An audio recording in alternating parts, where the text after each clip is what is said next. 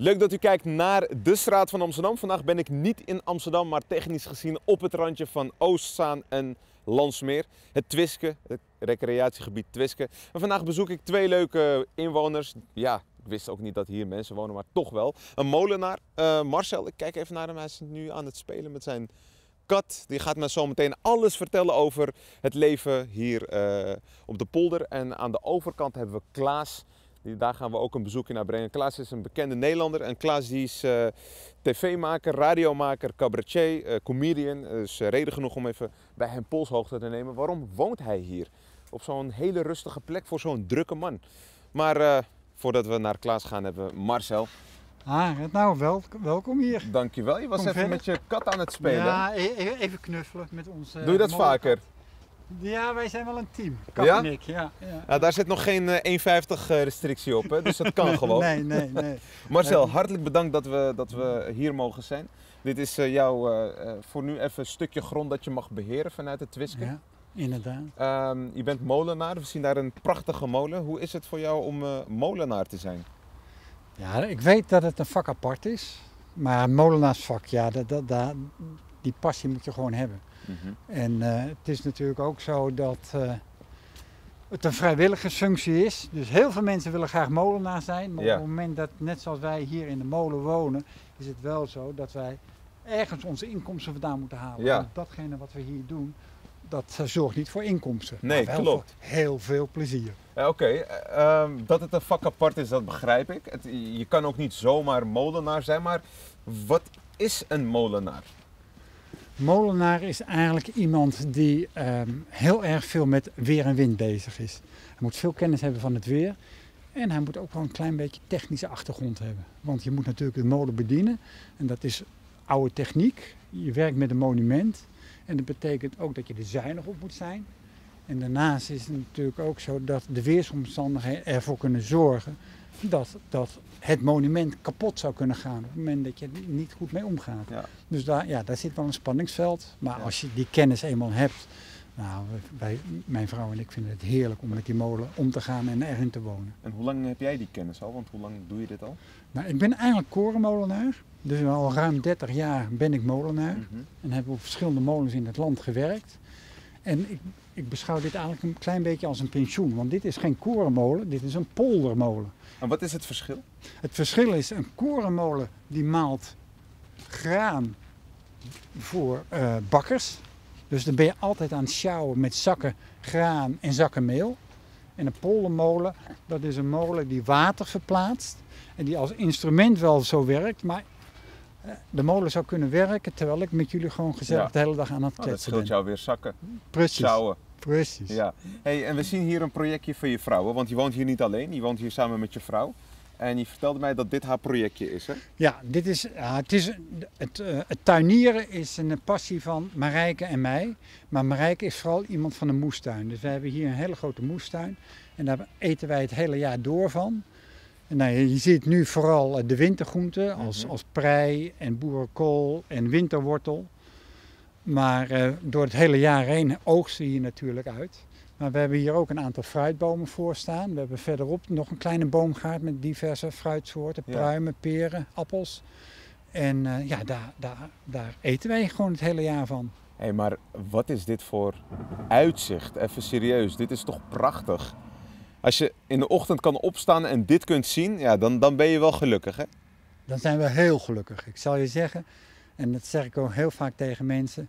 Van we hebben niet zoveel cent op de bankrekening, maar we voelen onze rijkste mensen ter wereld. Ja. Alleen al door het uitzicht. inderdaad. En eh, toevallig, eh, het heeft de afgelopen dagen heel hard geregend en gewaaid. En vandaag dat we hier zijn, is het precies het tegenovergestelde. Het is super rustig, het is lekker warm. Ja, ja, dat is heel bijzonder. Hoe, ja, hoe, hoe zien de dagen eruit als, als AT5 hier niet is? Als AT, nou dan, dan, dan, eh, dan waait het hier. Het waait hier heel vaak. En het is echt uitzonderlijk dat wij hier staan en dat het niet waait. Ja. En als je naar de molen kijkt ook, de rem zit er niet op. Hij zou eigenlijk moeten draaien die weekend, maar dat doen we dus niet. Maakt het veel lawaai? Want ik hoor achterin wel een geit waar we zo meteen naartoe gaan. Oer-Hollandse geiten. Die is daar, daar nu kabaal aan het maken. Je mag me zo Ja. meteen vertellen waarom. Ja, Maar eh, klinkt dat een beetje als eh, de kabaal van de geit op dit moment? nou, nee, ja, als, als die molen draait, dan ja, dat klinkt het voor ons natuurlijk als gezang. Hè? Want het is, eh, vooral iets wat, ja, wat, wat, wat een zoemend geluid maakt. Waarbij, waar, ja, Maar je wij bent, er al, je, bent, je bent al zo, ehm, eh, ja, je bent het al zo lang gewend, hè? Zo'n zo'n geluid, zo'n geluid Ja. van Ja. de molen, dat, het, dat je het waarschijnlijk gaat missen als je het niet hoort. Precies. Net zoals mensen die naast het spoor wonen en s'nachts geen trein horen en daar wakker van worden. Ja, Dat is bij ons ook. Als wij het geluid niet horen, dan is er wat aan de hand. ja. Hey, ik, ik loop hier en ik krijg zoveel informatie mee dat ik denk, ehm, er komen waarschijnlijk ook scholen hier om die informatie van jou te krijgen. Dat doe je ook, toch? Ja, dat doen wij ook. Marijk en ik die, eh, vinden het een belangrijke taak om eh, datgene wat wij hier beheren, om dat ook over te dragen aan anderen. Dood eenvoudige reden dat de poldermolen zoals die werkt, dat, dat is gewoon essentieel voor, voor het, het werken en leven in Nederland. Hè. Want we wonen hier drie meter onder zeeniveau, deze plek waar we nu staan. En we kijken naar de polder. En de polder is eigenlijk één grote badkuip. Dus je moet je voorstellen dat op het moment dat het regent, je ziet in de verte de brug. Op het moment dat het regent en de molen zou niet functioneren, dan Mhm. zou de brug na ongeveer een maand à twee maanden niet meer te zien zijn. Nee. Die polder loopt gewoon als een badkuip langzaam vol met water. En hoe haalt de molen dan het water uit de polder? Door middel van een vijzel. Dus als de molen draait, helaas, we kunnen het niet laten zien, want er is geen wind. Maar hier kan je een vijzel zien. Een hele grote ronde vijzel die het water ongeveer 1,50 meter omhoog haalt. Over de dijk heen naar de andere kant. Met 60 kub per minuut. Ja, 60 kub per minuut. Je zou zeggen, hoeveel is dat? Je moet je voorstellen, zo'n hele grote trailervrachtwagen van 18 meter die over de snelwegen rijden. Ja. Oh ja, die, die, Die die- die helemaal- containers die hebben we nu op ons netvlies. Dat gevuld met water. Dat gevuld met water. Per minuut. Per minuut gooit hij over de dijk heen. En waar gaat het heen dan? En dan gaat vervolgens gaat dat naar het Noordzeekanaal. Daar staat opnieuw een gemaal, die brengt het naar het Noordzeekanaal. En via het Noordzeekanaal gaat het naar Amuiden, naar de sluizen. Daar gaan de sluizen met eb open en vervolgens stroomt het naar zee en zijn we het water kwijt. Wauw. Hoe bijzonder is een molen eigenlijk, vraag ik me nu af. Want we lopen er langs, we kijken ernaar, we zien allerlei buitenlanders foto's ervan maken. Ja, ja. Maar wij die hier opgroeien, vooral de iets jongere generatie, die hebben waarschijnlijk niet echt een, een, een, een beeld van hoe belangrijk een molen is eh, voor Nederland. En hoe belangrijk het nog steeds voor Nederland is. Hoe bijzonder is dit, Marcel? Ja, dit is natuurlijk onze geschiedenis. De geschiedenis van Nederland. En net zoals wat ik net zei, we zijn jaren eh, leven al onder de zeespiegel. Als die gemalen en die molens er niet zijn, dan loopt gewoon een groot deel van Nederland onder water. En dat vinden we allemaal heel gewoon. En de molens houden natuurlijk ook niet van bomen. En daar heb jij een oplossing voor bedacht, namelijk de oer-Hollandse geiten. Ja, Hebben deze geiten ook nog een speciale naam? Want, of, of noemen ze ze gewoon echt oer-Hollandse geiten? Nee, de echte naam is de Nederlandse landgeit. De Nederlandse landgeit. oké. Nederlandse, het is een zeldzaam huisdierras. Dus er, is, er zijn een aantal fokkers in Nederland die proberen dit ras voor uitsterven te, te laten bedreigen. Het is een ras die heel goed bestand is tegen het Nederlandse klimaat. Ze hebben nu allemaal hele dikke wintervacht. Dus ze Mhm. kunnen tegen het natte en, en vorstachtige land wat we hier hebben. Maar waarom we ze hebben hier hebben lopen, dat is omdat ze heel belangrijk zijn voor de functie rond de molen. Wij willen natuurlijk, wat, dat je net al zei, wij willen rond de molen geen hoge bomen hebben. Want die hoge bomen die zorgen voor windvang. En dan heeft de molen geen goede windvang en daardoor draait de molen niet goed. Ja. Landgeiten zorgen ervoor dat al die jonge boompjes worden opgegeten. Kijk, gras vinden ze wel lekker, maar jonge boompjes vinden ze nog veel Nog lekkerder. Ja, ja. Dus op die manier hebben wij in een cirkel van 300 meter rond de molen hebben wij geen hoge bomen groeien dankzij de landgeiten. Wauw. Marcel, we gaan zo meteen eh, naar eh, het dak van de molen. Ik weet dat ik het eh, niet, op- niet met de juiste woorden beschrijf, want dat noem je De kap. de kap. We hebben ons inmiddels verplaatst naar eh ja, plaats delict, zou je wel kunnen benoemen. Hè? Want hier heeft de windhoos toch wel enige schade aangericht. Wat heeft hij precies gedaan en wat, wat is jouw verhaal met de Ja, windhoos? ja, die windhoos, dat, dat was echt een ding apart. Ik was in de molen toen die windhoos over de molen heen trok. Wat deed de windhoos? Die tilde de kap op van de molen. De met, het wieken, met, met de wiekenkruis. Dat weegt ongeveer 23.000 kilo. En die heeft hem gewoon naast de molen neergekwakt. En het resultaat is dat dit is bijvoorbeeld een wiek van 24 meter. Ja. Die eigenlijk dus aan die molen hoort te zitten, helemaal recht. En die heeft als een paperclip dubbel gevouwen en op de grond eh, gesmakt. Nou, dit hebben we nu als monument hebben we het als zitbank neergezet. Dus heel veel mensen zitten hier heerlijk op. Maar eh, nou, dit is dus een soort herinnering. En aan- waar was jij toen? Ik was in de molen. En eh, ik zou je zeggen, dat, eh, dat, dat was wel heel bizar. Wat er gebeurde is, ik zat aan tafel en Hoe laat En- was het ongeveer op de het dag? was ongeveer, nou ik kan het precies zeggen, eh 16 uur 24. 16 uur 24. 24. Hoe komt het dat het nog zo op uw netvlies Ja. staat? Dus ik heb er geen trauma van overgehouden, maar het is natuurlijk wel iets wat je in je leven niet meer vergeet. Een impact. Enorme herrie kwam er ineens. Hè. Dus nu en dan vliegt er wel hier eens een lage Boeing over, maar die hoor je dan nog aankomen. Maar die herrie was er ineens. Heel hard. Wauw. Ik wist niet wat me overkwam. Mijn oren klapten dicht. Achteraf bleek dat er onderdrukt te zijn, want alle lucht werd uit de molen gezogen. Want het was natuurlijk een schoorsteen. En eh, ik werd dus niet lekker. Nou, voordat ik daarvan bij kwam, vijf seconden, tien seconden later, weet ik niet, keek ik naar buiten en toen lag alles al op de grond. Eén grote bende. Alleen wat rietstengeltjes dwarrelden nog naar Heftig. beneden. En hoe lang heeft het voor jou geduurd om, eh, om, om weer helemaal eh, te kunnen revalideren? Want je hebt toch wel heel wat meegemaakt. Ja, weet je, gelukkig krijg je meteen steun van heel veel mensen en kan je het verwerken.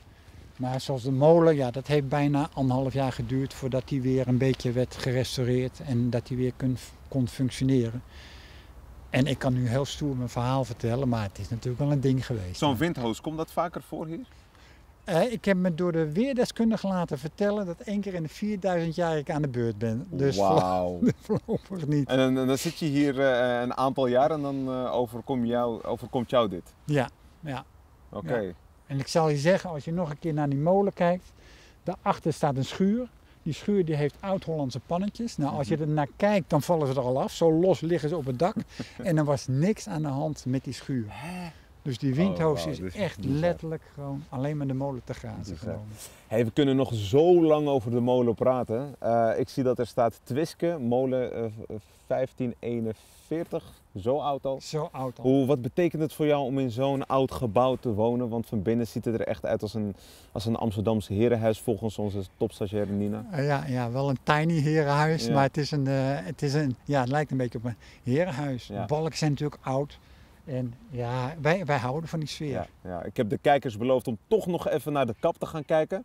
Laten we dat maar even snel gaan doen. Voordat we naar Klaas gaan. Want Klaas die woont aan de overkant eh, van Marcel. En eh, Klaas die eh, is een bekende van televisie en radio. En hij woont wel echt heel basic. En hoe basic ga ik je straks laten zien. Maar nu eerst even naar het dak van Marcel.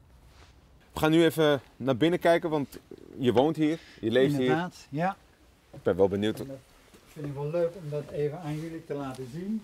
Ja, ik ben zelf nooit in de molen geweest.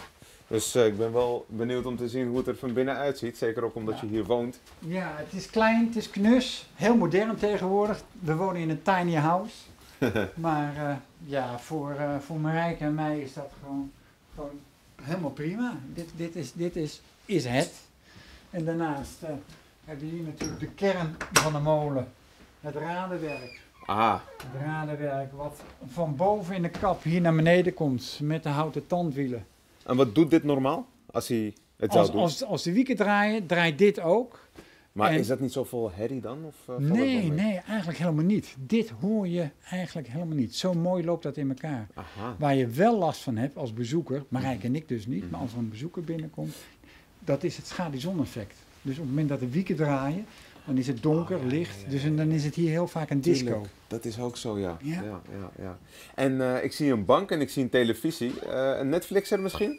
Ja. Ik zal je zeggen, dat zal Klaasje, mijn buur ook zo zeggen. We hebben al een week geen internet. Oh, Oh, dus we kunnen niet. eh, ah, dat is pech. Dat is echt Dat is pech. even- Maar dat doe je wel het liefst. Wanneer je klaar bent met alles rondom Dan- de molen, dan plof je hier lekker op de bank. Precies. En Ah. dan kijken we tv of we lezen een boek. En, Ja. ja. Ah, mooi. Ja. Gaan we naar De kap, de kap. doen we. Zo, het zijn wel hele smalle trappen, Marcel. Ja, en ik zou je zeggen, je moet wel in goede conditie blijven als molenaar. Wil je dit eh met de te blijven doen? Zo, oké.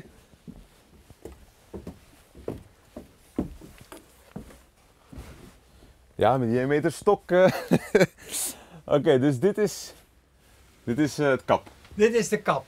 En het bijzondere aan de kap is natuurlijk, normaal zit een dak vast aan, aan een huis. Maar deze kap ligt helemaal los bovenop de romp van de molen. En Wauw. en dat is omdat de molen natuurlijk moet kunnen ronddraaien. Tenminste, de kap moet Hey, kunnen maar het is, wel, het is best wel koud hier ook. Ja, en hier, eh, het staat altijd open. Deze luikjes staan altijd open. En je kunt hier zelfs ook nog naar boven gaan. Ja, want er moet natuurlijk verder een, onderhoud eh, gepleegd worden. Dat is wel een mooie plek voor verstoppertje dit, hè? ja, ja, ja. hey, maar jij kan eh, de kap ook gewoon laten draaien, hè? Ja, inderdaad. Zal ik dat eens laten zien? Laat het maar zien. Want eh, daar ben ik super benieuwd naar. Eh, als, welk- ik, als ik aan dit rad ga draaien, dan zal je zien dat alles wat de kap is, dat is dus dit gedeelte, dat dit rond gaat draaien. Dit zijn de wieltjes, dus eigenlijk het lager. En dit is de vaste deel van de molen. De kap die gaat draaien nu. De kap gaat nu draaien. Je zal zien, Oh, wauw. Oh, check dan. en ik draai dus nu 23.000 kilo. 23. Hey, je bent wel sterk, hè, Ja, Marcel? ja, ja. Hey. Geen ruzie met mij krijgen. Nee, nee, nee, ik durf, ik zou niet durven. Ja, we zien dus wel dat dit echt, ja, toch wel ja, 30 centimeter is bewogen. Ja, ja, precies. Was het zwaar? Ja, het is pittig. Het is pittig, Maar ik ben het gewend hoor. Oké, oké, goed. En wat, tot slot, tot slot, waarom zou je dit moeten doen, handmatig? Heel eenvoudig, de wind komt nooit uit dezelfde richting. Dus Mhm. op het moment dat de wind draait, ik draai hem nu in de richting het noorden. Toevallig komt morgen de wind uit het noorden. Dus dan ga je uiteindelijk die, die, die hoe noem je die vier dingen? De wieken, het De wieken. gevlucht. Het gevlucht, ja, dat, dat draai je dus richting het noorden, zodat de molen daar de wind kan oppakken. Precies, juist. Bedankt voor je molenles. Het is super fijn en ook echt, ook echt leuk voor mij om, eh, om hier even eh, aanwezig te zijn. Dankjewel Marcel. Alsjeblieft. En dan gaan we nu naar Klaas.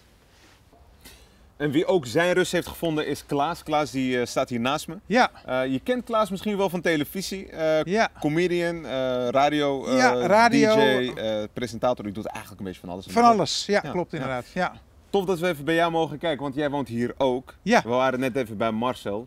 En jij Marcel zijn een van de weinige bewoners hier in het Twiske. De enige twee. De Eigenlijk, enige twee ja, je hebt nog een boerderij, maar de- die woont er niet s'nachts, diegene. Dus die, dit is een boer die gaat en dan, die slaapt ergens anders, zou ik Ja. zeggen. Maar wij zijn de enige twee bewo- bewoners van het hele Twiske. Dat is een gigantisch gebied. Inderdaad. Van Amsterdam tot Purmerend. Hey, maar als ik jou op televisie zie, dan denk ik niet van dat jij hier je rust zou pakken of dat jij hier zou wonen. Nee. Ik dacht nou misschien ergens in de stad, Ja. in het centrum of zo. Ja, ik ben wel echt een Amsterdammer. En dit is nu eigenlijk ja, de ring. Ja, je ziet hem daar. Dat is 800 meter afstand. Dus eigenlijk wonen we net, net Net- acht- 800 meter buiten Amsterdam. Net dus dat doet al pijn. Ja. Maar eh, ja, ik, heb, ik kom uit Waterland, dat is landelijk Noord. Dat hoort ook bij Amsterdam, bij Zunderdorp, Ransdorp. Daar ben ik geboren, getogen. En ehm, in zo'nzelfde soort huis, eigenlijk waar ik nu woon. En eigenlijk eh, mijn hart, toen dit huis stond te koop. ja. En eigenlijk was het al twintig jaar lang mijn droomhuis. Oh wauw. Ja, dus Dit huis. Dit huis. Dus je fietste als jongetje met een bootje ging ik door met de een sluis. bootje ging je door deze sluis. Ja, door deze En nu bedien je hem zelf. Ja, nu kan ik hem zelf. Ik kan wel even een stukje op wat laten zien. Even kijken. Hier bijvoorbeeld. Het gaat nu tegenwoordig allemaal automatisch. Vroeger stond er echt iemand, eh, de, vorige bewoon, eh, bewoonster, die vrouw, die, Ja. die trok nog echt met kettingen om die deur open te maken. Maar nu gaat het gewoon heel simpel met een eh, druk op de knop. En dan hoor je een bel. En ja, het is nu heel erg stil. Maar in de zomer gaan er in het weekend op een zondag 300 boten doorheen. Maar dan ben jij hier om op dat knopje te drukken? Nee, of, dat mogen de boten. Ik, Oh, dat doen ze dat zelf? doen ze allemaal zelf. dus ik Oh, hoef, ik hoef helemaal niks te doen. Oh. Het, het enige is dat er altijd wel een storing is en dan kom ik eventjes eh, de storing oplossen. Dat is het enige. Ben je in een productie? Ja. hey, eh, ik moet Ja. even mijn sluis fixen. Ja, en dat is eigenlijk heel simpel. Alleen een resetknop hoef ik op te drukken. Dus dat, dat Oh, kan ik zelfs. Ja. Oké, dus als jongetje heb je hier gevaren en toen dacht je bij jezelf, dit huis wordt later van mij. Ja. En het is ook gewoon gelukt. Nou ja, ja die, de vorige bewoner die woonde hier sinds, nou niet hij zelf natuurlijk, maar zijn familie sinds 1700. Wauw. Van vader op zoon en moeder op dochter. En eh, zij hebben het verkocht vier jaar geleden. En eh, ja, toen heb ik het. eh, toen heb ik mijn kans gepakt. Maar het stond al heel, heel lang te koop hoor. Of een aantal weken. Mensen wilden hier niet eens wonen. Nee, nee, maar ik denk als ze dit nu zien, dat ze denken, wat een gemiste ja. kans. Ja, er zitten heel veel nadelen ook ja, aan. Hè? ja. Nou, dan gaan we weer even terug naar, eh, naar de overkant. In ieder geval, ja, hoe zal het hier in de nacht uitzien? Want, Pikken donker. ja hè? Ja, echt helemaal. Want we zien daar nu de zon ondergaan. Ja, je hebt helemaal geen straatverlichting eigenlijk. eh, Rustig, hè? Dus het is helemaal stil, helemaal donker. En eh, ja, het is, eh, ja, ik vind het fantastisch. Alsof je in Zweden woont.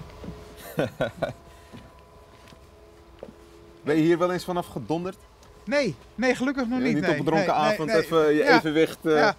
Maar het, het gek is, het is helemaal natuur. Maar we zijn heel gericht op Amsterdam. Want Ja. we doen alles in Amsterdam. Ja. Maar het is hier natuurlijk natuur. Je woont hier niet alleen? Nee, een vrouw en twee dochters. En tweede, hoe vinden jouw kinderen het om hier te wonen? Want eh, dit, Nou. dit, is, dit is, ja, als ik denk van nou, het is zo ver weg van de stad en zo. Ja, Oh. nou, het is nog steeds echt 800 meter. eh, kijk, je ziet eigenlijk als je kijkt, zie je de ring eigenlijk achter die bosjes. Dus dat is 800 meter fietsen. Maar mijn oudste dochter zit op het Leidseplein op school. Wauw, ja, die Ja, moet wel... die eh, fietst naar, wij zijn heel blij met de Metro Noord. Want ze fietst naar Metro Noord. Aha.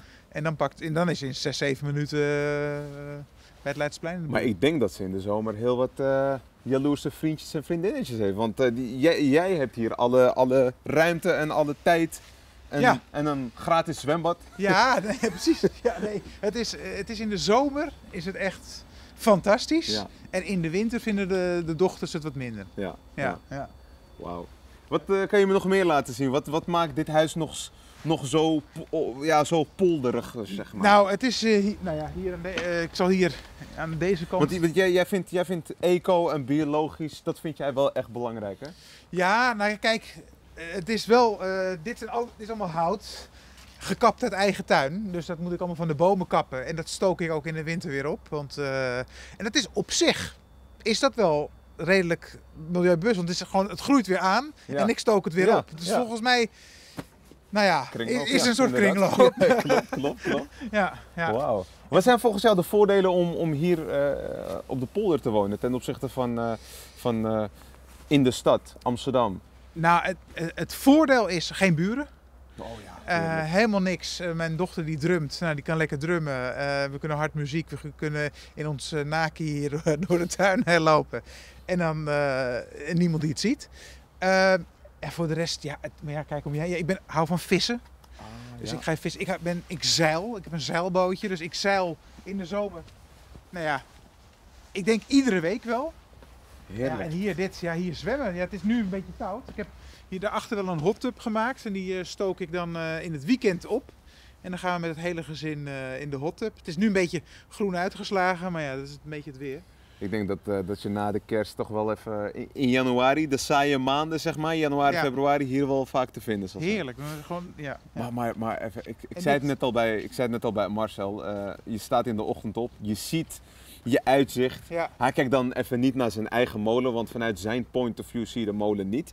ja. Maar jij kan wel genieten van zijn molen. ja, ja, ja, nee. hoe, hoe fantastisch is dit om, om in de ochtend zo op te staan op een zondag en dan denk je van, Ja, in het begin toen ik hier net woonde, ging ik, maakte ik bijna elke dag een eh, fotootje van die molen. Zet ik op Insta, zou ik maar zeggen. En op een gegeven moment kreeg ik gewoon mensen haat van ja, je Ja, woont mooi. Ja. En. Dus ben ik er op een gegeven moment mee gestopt. Eh. Maar af en toe kan ik het niet laten. Dan Oh, doe ik toch een, dit ook. Als je nu kijkt, die, dat meer, die spiegel, dat spiegelgladde water en dan die, en dan die molen die dan terugkomt in het water. Ja, Ja. ik kan daar eh, uren naar kijken. En dan soms hier, zie je hier hele scholen met eh, karpers, eh, snoek, baars. Die, die zwemmen dan, je, je ziet het water is kraakhelder.